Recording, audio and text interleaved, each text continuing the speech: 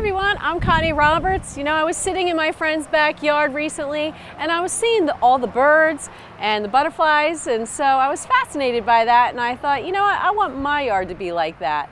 So I'm here at Chestnut Hill Nursery to find out from Tracy some more tips on how I can make my backyard more appealing to birds and butterflies.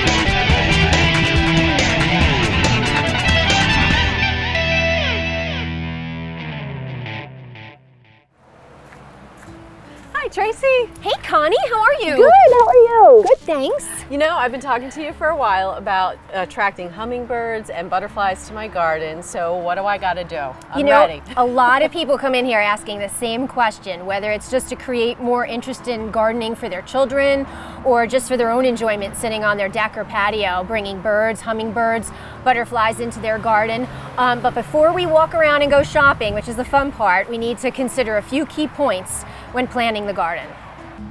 Location is the first thing to consider, Connie. You want to plant your garden in an area that gets at least six hours of sun per day. Butterflies are cold-blooded insects that often start their day by warming their bodies in the sun. Include some larger rocks that will warm up in the morning sun for them to play on. You know, I was reading that you should also pick somewhat of a shelter spot, you know, that's not windy. Why is that? Well, consider a butterfly's wings. You can almost compare them to tissue paper, and that's so delicate, so the less wind, the better. That makes a lot of sense. It sure does. So next, let's consider the host plants. We call this catering to caterpillars because they do have select plants that they prefer to lay their eggs on. Some of these plants include parsley, dill, snapdragon, yarrow, and milkweed. And are most of these plants readily available? Yes, they sure are. I know in my garden I've found eggs on my parsley before, and that's one of the easiest plants to grow. You can even start that from seed and have plants in just a few weeks. I was also reading that most butterflies only travel a few hundred miles from where they grow up as caterpillars. That's exactly right. So think about it. If you offer more host plants in your garden, you're essentially helping to increase the local butterfly population. So now we have created a nice environment for laying eggs. What's next? Well, the caterpillars emerge and begin to feed on the host plants. They spend a good part of their life cycle crawling on and eating their food source. After that, they may or may not wander away from the plant to begin the next phase of their life, which is transforming into an adult. Is this where they generally hang upside down in their chrysalis? Yes, and I know you're familiar with this stage, so why don't you explain this to our viewers? Well, in about two week period inside the chrysalis, the body of the caterpillar basically breaks itself down. The cells put themselves back together into a new shape. Some parts of the body, like the legs, remain more or less unchanged during this process. It truly is amazing transformation. Then a butterfly emerges. Well, now we can talk about the plants that keep the butterflies visiting your yard and keep this whole process going. So let's walk around and find some plants for your garden, Connie. Okay, cool. Three traits your plants should have are color, fragrance, and shape. Uh, butterflies generally prefer lavenders, purples, and pinks. My favorite colors. Perfect. um, they have a very acute sense of smell, so they can detect fragrances from quite a distance. Wow. And lastly, they sip nectar with their tongues, so provide plants that allow easy access for them to do that. Okay, cool. All right, so we're gonna pick up these impatiens, right? Yep, that's perfect. Now they usually do sun and shade. Um, these are going to prefer part shade to shade. Mm -hmm. um, so, you know, that's another thing too. Some people don't have sun, so they need to have some plants for shade. This columbine mm -hmm. is a good one. And also, I mean, you can see we talked about pinks and purples, but we're putting reds on. Mm -hmm. um, that bright color will attract hummingbirds. We're going to talk a little bit more about that later on. Okay. And I see some pinks up here. and that's a good one. That's on our list. That's a full sun plant. Okay. I like these. And that's an get next to annual. Okay. So yeah, I think that you have some of them at home already. So it's also a good idea to plant annuals and perennials. So annuals will give you color all through the season from, you know, June till frost. Um, your perennials are something that comes back every year, so you can always count on them coming back. Right. I'm gonna grab some daylilies. Which those are my favorite. That's a that's a rebloomer too, so that's nice. Unlike most perennials that have their bloom time at, short, you know, short bloom time, these will bloom again. Okay. So I like to do quite a few of them. And then this is purple coneflower. Okay. This is probably, if you cannot plant anything else for butterflies, plant this. I mean, you see, we put them out front when they're in full bloom and they're just covered with butterflies. Nice. Beautiful plant too.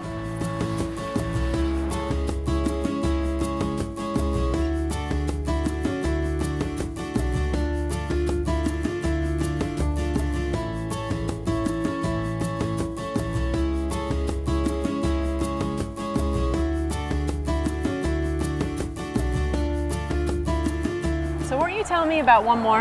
Yes, we have one more, another great rebloomer, catmint, um, purple flowers right here. That's a great one. You know, sometimes it gets a little leggy as the season goes on. If you cut it back down to about three, four inches, it's gonna flush out again and you'll get another bloom out of it. Oh, so that's great. great. What about our host plants? Basil. Good point. Um, we should go pick up some parsley and dill. Um, they're, you know, inexpensive plants and they're great host plants. So let's go down by the herbarium and pick them out. Trace, look what I found in the garden center. Perfect. the hummingbird feeder and, and nectar. Um, that, that'll lead us to our next conversation because you said you wanted to um, bring more hummingbirds into your yard. So we've already picked some flowers that will be good for that. Um, they generally tend to lead more towards the reds and the hot pinks. And um, one of the biggest differences between the hummingbirds and the butterflies is the shape of the flower. The hummingbirds generally like tubular flowers, something that they can stick, stick their beak into, like the daylilies or the weigela, smaller flower, but same concept. Um, but in general, there are a lot of crossovers between plants that the hummingbirds like and plants that the butterflies like. This has been great information. Well, I hope you start to get some in your yard. I know I will. Coming up next, we're going to talk about deer-resistant plants. We are KMB Kids. That's right, my dad can fix anything. From well pumps and grinder pumps to water heaters and air conditioners, count on KMB to solve your plumbing, electrical, and HVAC issues. Give us a call for all your plumbing and electrical needs. You can contact us either at kmbplumbing.com on the web or you can call us at area code 570-460-0111 and you can call us 24 hours a day, 7 days a week.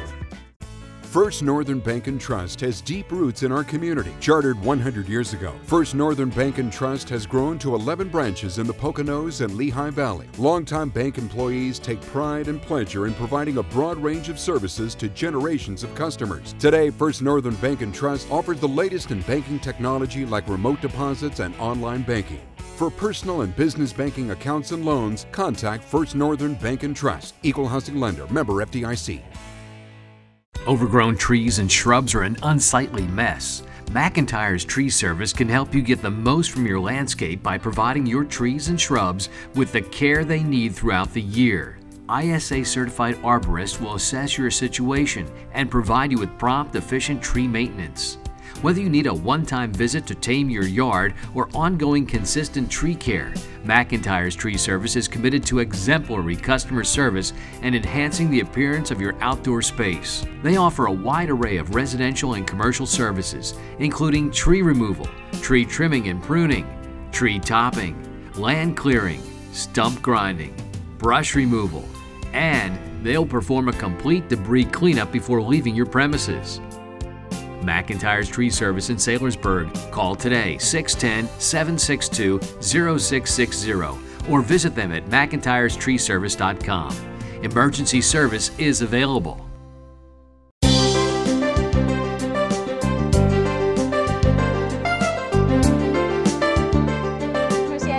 Lots of people have deer on their property, but what's a great way to keep them out?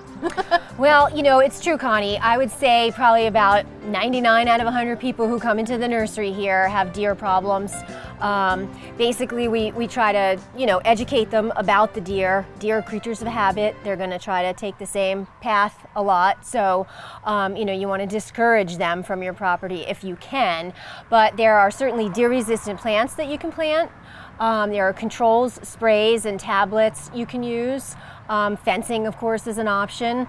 Um, so let's start with the first one, okay. the deer-resistant plants. There are a handful of plants that you can plant that are absolutely positively, I've never heard anybody tell me that the deer eat these plants. Um, those things include ornamental grasses, junipers, um, dwarf Alberta spruce, Andromeda, and we'll take a look at these later on together so you can see what they look like up close. Um, but there are some tried and true plants that the deer definitely don't touch. Um, that's your best bet because then you don't have to worry about fencing, covering stuff with deer netting, spraying, you know, every seven to 10 days or after it rains. So th those plants are your best choices. When you say fencing, how high do you gotta go? You know, truthfully, um, deer can jump over a fence that's eight foot high, so you have to go at least eight foot high. Um, you can fence uh, with deer netting. You can fence individual plants so they can't actually get to the foliage. Not, not the prettiest looking thing, but it's effective. Um, they do say that stockade fencing, that's a solid fence, is better uh, generally speaking, the deer will not want to go over something they can't see on the other side. There, you know, there's a fear there for them. So a solid fence is better than a see-through fence. But generally, eight foot high is is a safe bet. what about um, a motion detected or motion detective uh, water? yep, that's exactly right. Um, they don't like the motion. It's something that definitely works with them. So you can have a motion sensor on a sprinkler. Um, you know, if you're going to do that, you should make sure that you have a um, like an infrared one for at night. Otherwise, they're only good during the day. The only problem with that is you can't leave it hooked up in the wintertime because it's hooked up to your hose, your hose is going to freeze, so you have to come up with alternative methods in the winter to keep them off the property, which is when they're more hungry. mm, like a snowball machine. All right, Trace, let's talk more about repellent and keeping the deer out with other products.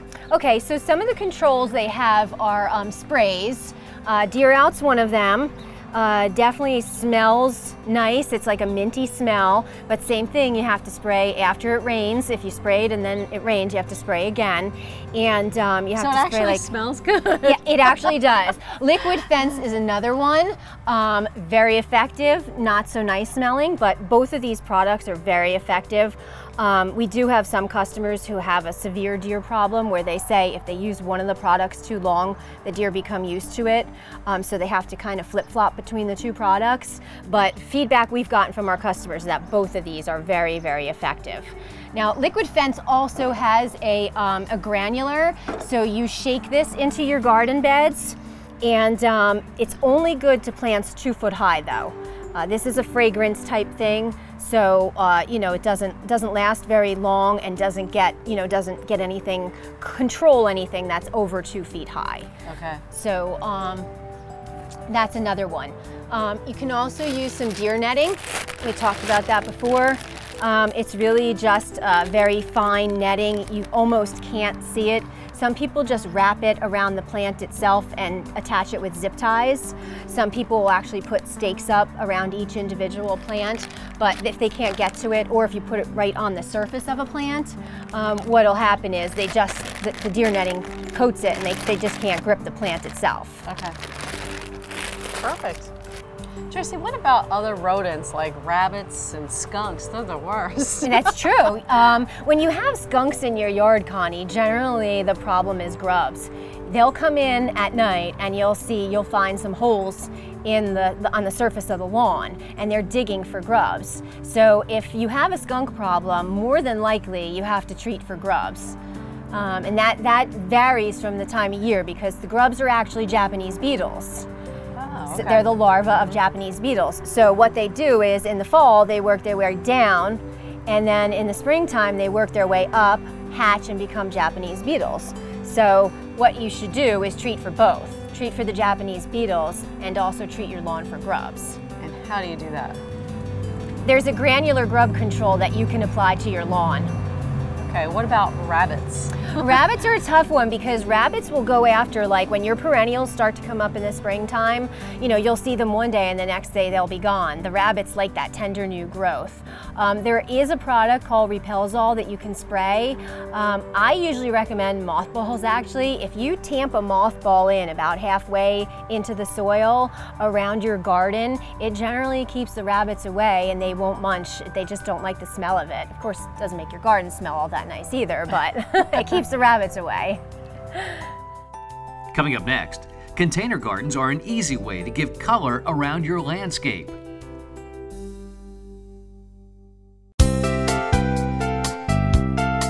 What do you mean buona forchetta? Buona forchetta in Italy we have this uh, these traditions that when, when somebody walk into the restaurants and make a eye contact you with the chef, with the owner, and does with uh, two fingers, does like this.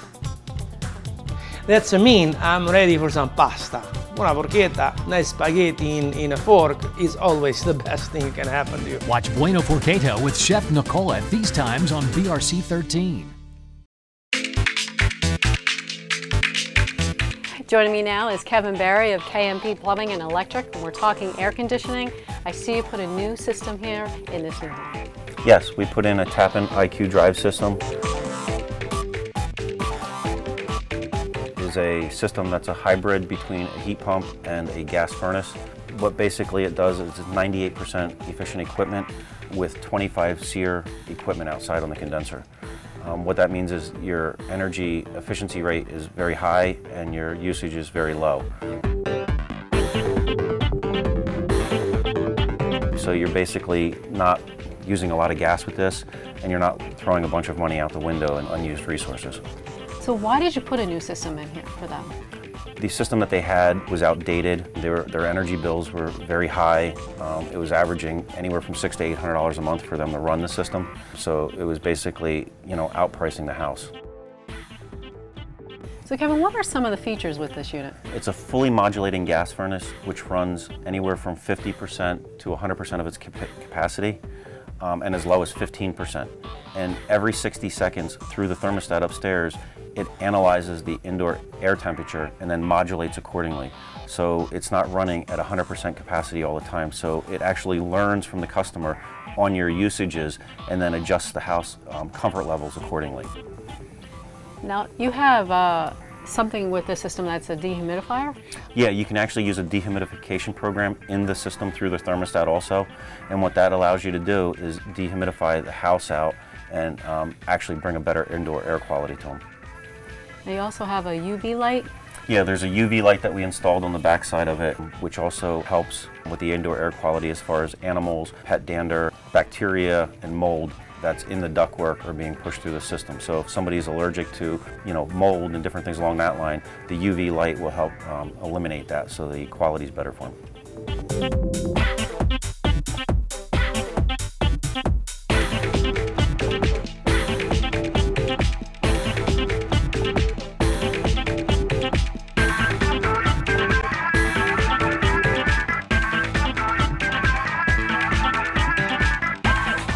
Why should someone consider having a Tappan hybrid system? With the energy efficient performance and durable construction, the system is a great option for a homeowner. The heating and cooling package system contains features that give the ability to provide the greatest amount of whole house comfort. An example being the variable speed motor, and the unit provides dehumidification assistance and more even temperatures throughout the whole house with air quality.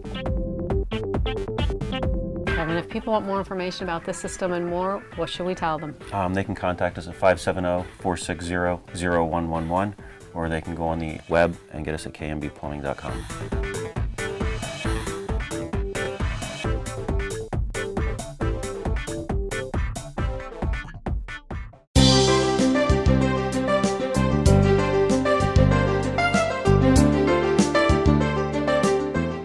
One of the best ways to add color to your landscaping is through container gardens, and there's so much fun to do. That's right, Connie. We have a lot of fun doing yours at your house. I know. Um, so what we have here is we have a shade one and a sun one.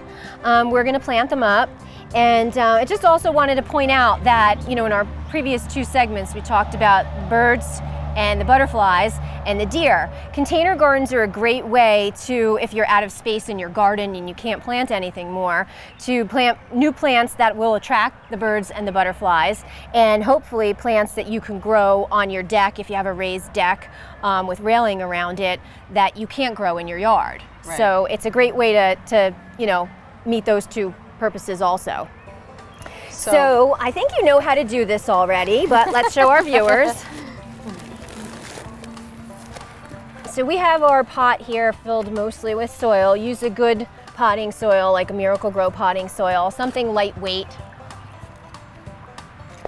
Miracle-Gro has fertilizer in it. And once you have your plants picked out, what you want to do is just take them out of these containers. If they're root bound like this one, you want to break them up just so that they grow into the soil that you have in your container. This here's a spike, just for some texture. this one's a little creepy crawler. Yep, yep. So we're gonna put this near the edge so that it hangs over the edge. We'll fill in with soil a little later, but that's gonna hang over the edge. And then we have our begonias for color.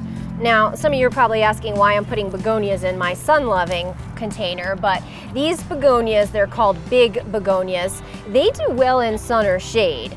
So, you know, they're very versatile. They offer a lot of color. You don't have to deadhead them, which is one of my favorite features about them. So, and the bronze leaf is real nice. They come in both green and bronze leaf, so that's a nice feature. And then these here are a little calibrachoa. They're like little mini petunias. That's another creeper and a filler, so it'll fill out the space in between the begonias and the creeping jenny Nice. and give a little pop of color there. So we'll finish planting this one up. If you want to start doing yours, Okay. we have some shade-loving plants there. And that's a hosta, which is actually a perennial. Um, I like to use perennials in my pots just because at the end of the season, I feel like, okay, now I can put this in the ground and I, I you know, spent, my money was well spent. Not that annuals aren't, they offer color all throughout the season, but that's a nice one and it, it's just so bright and cheery, the hosta. So same thing, don't forget to break up your roots there. And what you want to do with that is say late September when you're starting to take your pots apart and put some mums in, mm-hmm. take that hosta out and plant it in the ground.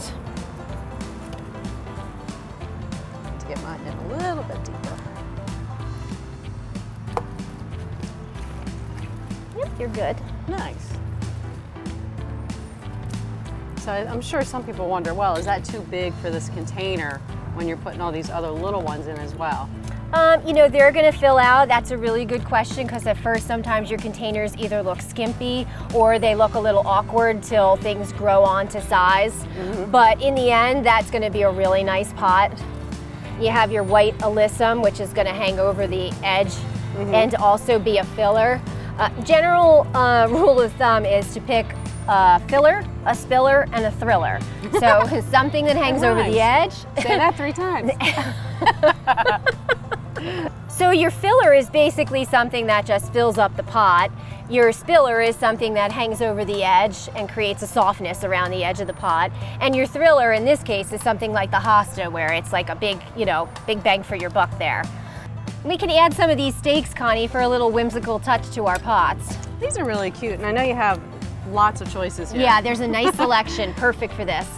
Um, so what we're gonna do is we're going to fill the pots, uh, continue filling them with soil. One important thing to remember with the pots, Connie, is water. Um, you know, they're not in the ground, so they're completely dependent on getting watered, and sometimes when they're on a really hot, sunny patio, they dry out quickly. So just make sure you water your pots if they're up out of the ground. Okay, good advice. Well, we're going to take a break. We'll be back with Pocono Landscape Challenge in just a moment.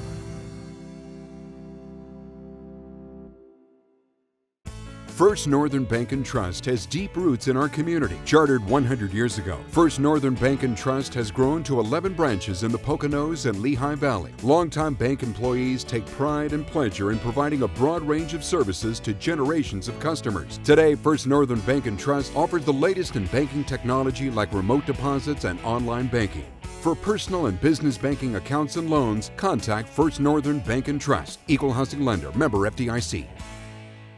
Looking for plants you can trust to create a beautiful, easy to maintain garden?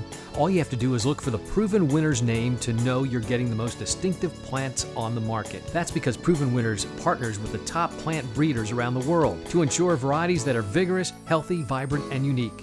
Chestnut Hill Nursery Garden Center employees are Proven Winners certified.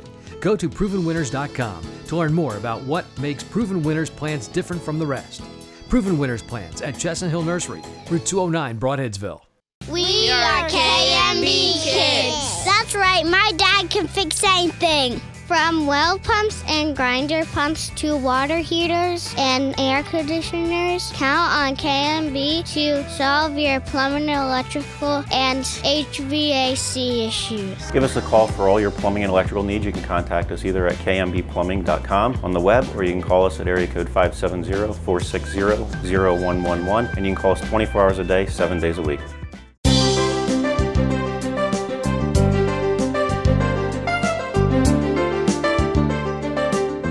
Welcome back to the show. Tracy, let's tell everybody what we learned today. One of my favorites was attracting the birds and the butterflies. That's right. So we learned how to attract birds and butterflies, how to not attract deer, and how to create a beautiful environment on your deck or patio with container gardens.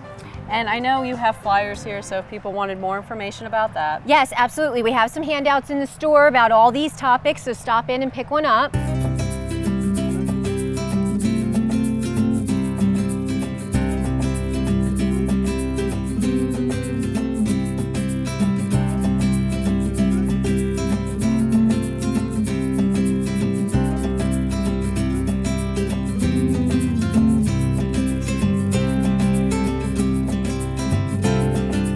Thanks, girls. That was great. You know, I hope you guys at home really enjoyed Tracy and Connie's presentation about. Specialty plantings in our container gardens. They just a great way to color up the yard for the season. And speaking of the season, you know, it's not too late to plant. You know, with our late spring this year, everything is much later. The season's going much longer, and it's still plenty of time to plant and enjoy all these beautiful blooms and colors for the rest of the summer. Matter of fact, we have such a great selection here at the Garden Center, and we have new trucks coming in almost on a weekly basis bringing us some new stock. So don't miss the opportunity to stop by, take a look at the plants, and see what we've got to offer. Of course, our landscape crew is out there working on some great new projects that we can't wait to show you. And don't forget, if you have a project at home you'd like us to take a look at, please give us a call. And who knows, your project may wind up on the next edition of the Pocono Landscape Challenge.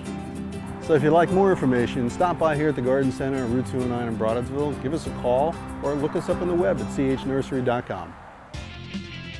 That's the story there. And if I could just get it out of the pot. Look at Slim Shady over there. I know, she looks like a supermodel. Come on, laugh, do yours. Just for you. I can't do that when you have the camera on me. what does that look for? She did good. I think we're gonna have to cut there.